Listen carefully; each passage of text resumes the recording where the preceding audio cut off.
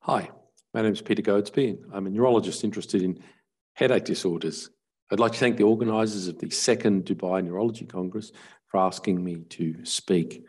It's an interesting topic to be talking about atypical headache syndromes. Headache disorders are very common and there's a range of things that can happen. And I'm going to cover them in, in some order and not to be exclusive. Some things I'll touch upon have relevance to the disclosures I have in front of you. Most of them don't because they're odd or small or simply don't have obvious therapeutic implications.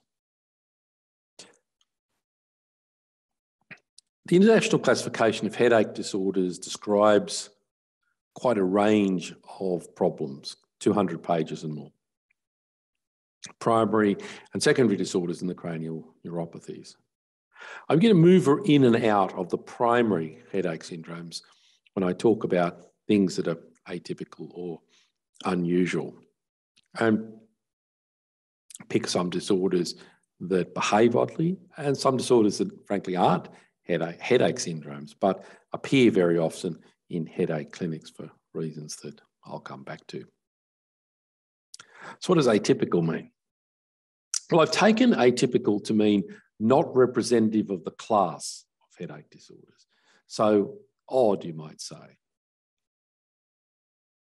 And this could encompass three things. It could refer to the unusual presentation of the usual, because it's, it's an aphorism in medicine that common things happen commonly, even if they happen in odd ways. Presentations that are not headache disorders, but often regarded that way, they're interesting to think about. And then some of the uncommon headache disorders because they're not representative of the class as you, as you might say it. So thinking first about unusual presentations of what's usual. I have to start with migraine. Because migraine is the commonest cause of disability due to headache disorder globally. And because it's so common, it comes to it comes to us not in, only in its canonical presentations, but in some unusual, atypical presentations. And I'm, sure that that's a that you'll see that, and it's something that we very often have to deal with, particularly if you're interested in in headache disorders. Migraine is seen everywhere um, in in the Gulf, certainly Europe, North America, and even in Australia, where I'm from, broadly everywhere where it's been asked about. And the variety of the prevalence has probably got as much to do with ascertainment as it has to do with biology, although the latter probably has some role.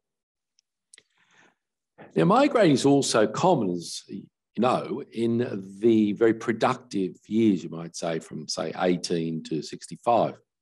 And with a one year period prevalence, 24%, just about the age of uh, of, of 40, extraordinary for females, extraordinarily common thing. So it's understandable that something that's this common and with this sort of impact would have its various odder manifestations. And I'm not going to go through all of them because there's quite an interesting range of things that can happen. Now, you see some patients, for example, it's a slide I like to use to think about the word migraine. It refers to the disorder, repeated attacks, less than 15 episodic, 15 or more chronic, line in the sand. It's family history, it's triggering biology, and then the features of the actual um, attacks themselves, the premonitory features, the uh, canonical features that the International Classification of Headache Disorders relies upon, and then the postdrome, and, and to mention the aura. Very simply, presentations which focus on one part of migraine are atypical in the sense that they can throw you off the initial history. Once these patients, for example, whom, whom I've seen one recently, in whom cognitive dysfunction is the predominant problem. And it's well recognized as a prodromal premonitory symptomatology, but not often thought of as the dominant, the dominant problem. And the range of these you see. And I want to specifically say something about cranial autonomic symptoms. Looking at uh, a cohort that we reviewed Nicholas van den Busse was able to show nearly three quarters of patients, predominantly with chronic migraine who we were seeing, had one or other cranial autonomic symptoms. That's quite common. But I don't think cranial autonomic symptoms are front and center when we think about a typical migraine, whether it's laterality, throbbing, nausea, light, sound sensitivity. Anywhere you look, you find the same sort of information. Numbers are a little bit different, but the same information. Healthy uh, subjects can have, uh, these are German medical students, given capsaicin injections into the forehead, who can have cranial autonomic symptoms. So it's probably part of the trigeminal autonomic uh, reflex. Certainly, Mark Obermann and others were able to look at a larger population group from uh, Germany and showed quite a considerable number of patients, again, uh, up to uh, 40% for any one of these symptomatologies, would have one of the cranial symptoms. This is not something that's restricted to adults. Amy Gelfand's published in pediatric uh, migraineurs that about 70% have one symptom, which is quite in line with our adult uh, data. And this is not affected by age or gender or laterality or episodic chronic migraine. This seems to be a thing, if you want, with the activation of these trigeminal autonomic pathways.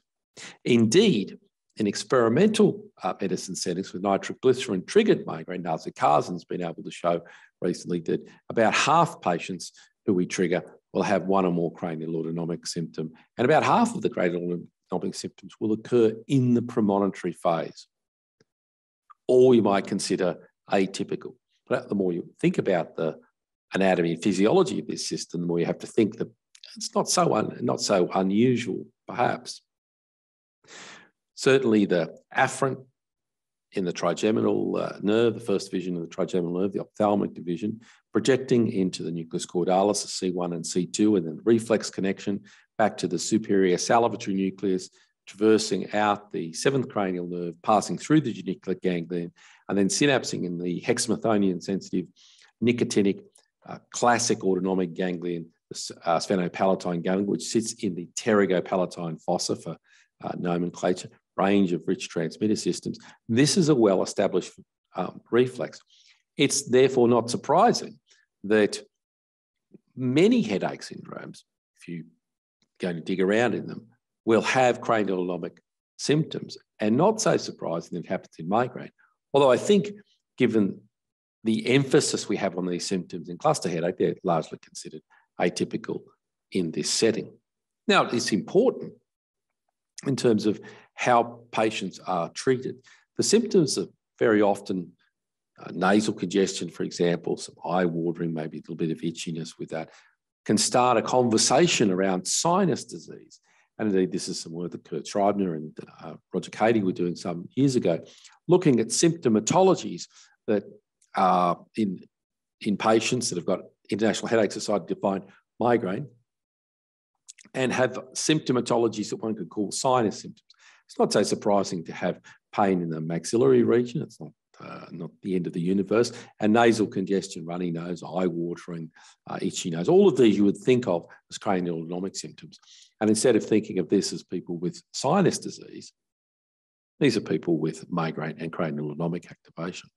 And indeed, when they took 24 subjects um, who said they'd been diagnosed with uh, sinus disease, 23 out of 24 had ICHD, one migraine um, symptomatology, 14 had, uh, had rhinorrhea. Of 17 who, claimed this, sumatriptan 50 milligrams made them pain free in two hours, not so unusual for a triptan. And they're the sort of symptoms uh, that they had. Beware cranial autonomic symptoms in migraine. They're very common. One could call it atypical. I think it's simply not canonical. Now, when you think about atypical tension type headache comes up in terms of, it's certainly in terms of, I think, referral practice. These are the appendix criteria, and I find it very useful to apply these criteria in practice because they, I think, more clearly differentiate migraine and tension type headache. And the particular emphasis I'll place is on uh, D here, where there's no nausea, no vomiting, no photophobia, no phonophobia. That is featureless headache as a concept for tension type headache.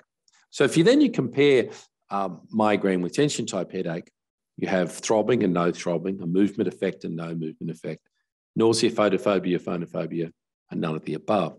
And that line in the sand, I think, enables one to more clearly think about what is a typical tension type headache, that is featureless headache, versus what is more likely migraine, for example, photophobia rather than photophobia and phonophobia, and what we call at the moment, we call probable, uh, probable migraine.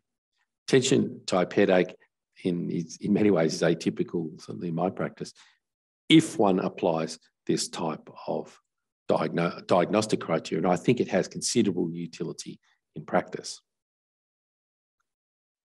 Now, the burden of headache is bound to be uh, in referral practice, um, in practice altogether, when one looks at what happens in general practice. So, three quarters of patients, the landmark studies of prospective are open label study that tracked uh, migraine for uh, three months or six attacks with a diary, and then experts assign diagnoses. As you see, if you take clear migraine, ICHD migraine, three quarters of patients going to the GP complaining of headache had that, and about 20%, 18% had migrainous headache. So one of the criteria weren't there. And I would argue that, based on what I was just saying, that uh, this is all from a biological point of view migraine. And of course, headache is the commonest thing that's pitching up to neurology. And if you look at general neurology, it's more than this approximately 20% from uh, UK data because much of the super specialty diagnostic uh, and management problems are hived off into those sorts of clinics. Another atypical problem, you might say, is this issue of vestibular migraine. It's in the appendix of ICHD3. Five episodes, current or past history of migraine, vestibular symptoms, and the 50% um, of episodes associated with typical migrainous phenomena. Vertigo, the sensation of self motion when no self motion is occurring, or the sensation of distorted self motion during otherwise normal head movements, a Bárány Society uh, definition. We see in our clinics about 40% of people have this, uh, have vertigo by the Bárány definition associated with their attacks. This is a complex area of vestibular migraine. And to some extent, I think mild vestibular symptoms are actually quite common in migraine presentations. And what's the atypical component of this is the prominence of vestibular symptoms in some patients as opposed to headache in other parts of the disorder. So let's talk about the presentations where Actually, it's not a headache disorder at all. That makes it very uh, atypical. So, one of my favourite ones, migraine aura. Well, this is typical. Lashley's aura on the left, that uh, the um, scintillating scotoma that was enlarging the what we think the passage of reduced blood flow, uh, increased blood flow followed by reduced blood flow that spreads across the cortex and uh, uh, a blood flow map there, Xenon 133 map of a patient actually having uh, having an aura, an original uh, original picture. Now, when you contrast that, that's jagged lights fortification spectra, here named after the four, of uh, fortifications that used to be prominent in European, uh, to defend European cities. If I contrast that with the patients who come to see us with what they draw on the right, uh, child's drawing uh, at the top there, little dots uh, everywhere, and a more, and you more say, more say a rendition uh, at the bottom there of what patients are seeing. Continuous uh, moving dots, shapes that are uncountable and distort perception in the presence of what is a normal visual uh, examination. This is case, one of the cases published on. Um, beautiful example of a child showing us the uh, after image, for example, palinopsia from the tree, the sparks in the in the sky, squiggles, blue field, field entoptic phenomenon, and the small little circles, clear circles that they see, the actual uh, visual snow. It's continuous, dynamic, tiny dots in the entire visual field for, this, for the syndrome, palinopsia, uh, illustrated there on the bottom right, the Bluefield entoptic phenomenon, uh, sorry, bottom left for the palinopsia, bottom right for blue-field entoptic phenomenon, photophobia and night vision. This is not consistent with migraine aura at all. It's very typical of what it is, visual disturbance, which we think has, import, has an important basis in the central nervous system. Another thing that we see from time to time, which masquerades as a head pain, but actually isn't pain at all, is exploding head syndrome. this sudden feeling as though the head's exploding, of sudden noise. Sometimes there's a flash of light. It's, it's a sleep disorder to transition between sleep and wakefulness. It was first described as a pistol shot or a blow to the head by uh, Weir Mitchell in 1876. People have called it a sensory shock. Uh, they've called it snapping of the brain. Um, and exploding head syndrome is a term that uh, John Pearce introduced in 1988 uh, in the uh, Lancet. In series, it tends to be older age, said to be female preponderance. Uh, actually, the cases I've seen have been males. There are no secondary cases that I've seen in the literature. We've had an excellent outcome, uh, certainly in uh, one patient with single pulse transcranial magnetic stimulation it's not a headache problem. It's an interest if you see it, and certainly something that the sleep disorder people are well, um, well interested in. Now, lastly, let me talk about some uncommon headache syndromes, which you might say are atypical for the class of all headache disorders. Let me start with nummular headache. Pain, highly variable duration, which is a small circumscribed area, coin shaped. I've got a patient, a patient in the UK at the bottom there putting a pound coin on their head and a patient in the US putting a quarter on their head where their pain was. And I use the coin for the or pneumostatic headache, you might say. So it's continuous or intermittent, sharply contoured, fixed in size, round or elliptical, and some centimetres in diameter. I've treated this phenotypically. I think that um, the question I ask myself is does it fit one of the primary headache disorders if I put the pain distribution down? We've published on some cases last year where it clearly does fit a migraine uh, phenotype. I've seen it fit a, a, a an sensitive phenotype. I mostly we've seen patients that have some migraine biology of the past history or something migrainous as well that's uh, that's happening. This is a, a disorder I think that's got a number of strings to it. And to understand it is going to require, I think, the more pure form that doesn't have other primary headache disorder phenotypes mixed in to nail down what's happening with the pathophysiology. There's primary cough headache, described by uh, Charles Symonds in a, a, paper in Brain in uh, 1956. So these are uh, headaches that are brought on by coughing, coughing, bending, straining, Valsalva maneuver, but cough is a simple way of putting it, but not by prolonged exercise. Um, they're sudden onset, they peak almost immediately, they can last a second up to a couple of hours, and there's no other, we can't account for them another uh, ICHD diagnosis. And the particular secondary one, of course, is, um, is the Arnold-Chiari. We've looked into this in a series of patients. There's quite an association between cough headache and chronic cough, unsurprisingly. Interestingly, the cough precedes a headache by a median of seven with a range of three to 11 years. So we think it's a sensitization process that goes on. Interestingly enough, CGRP, calcitonin gene-related peptides, implicated in cough hypersensitivity syndromes quite uh, independently by the respiratory folks and one wonders about the link between those. It's extraordinary. Uh, the Symonds described this, and Neil Raskin described it in his uh, paper on this subject, that lumbar puncture, well, our experience about one in five lumbar punctures just curative, extraordinary after a lumbar puncture, removal of 20 uh, mils of uh, cerebrospinal fluid. Not all patients, but certainly in a clear group. It just uh, it stops the problem. Indomethacin uh, is the probably the most popular treatment, 25 to 50 milligrams three times a day. And isn't it interesting that indomethacin will change uh, CSF uh, pressure? I think there's a story in that. And we've seen non-invasive vagus nerve stimulation be very helpful for, um, for primary cough headache. We considered this because non-invasive vagus nerve stimulation is also actually quite useful for paroxysmal hemicrania and hemicrania continua to indomethacin sensitive headaches. And one wonders about that disparate um, pathophysiological link to therapy. And lastly, hypnic headache, headache that occurs going to sleep.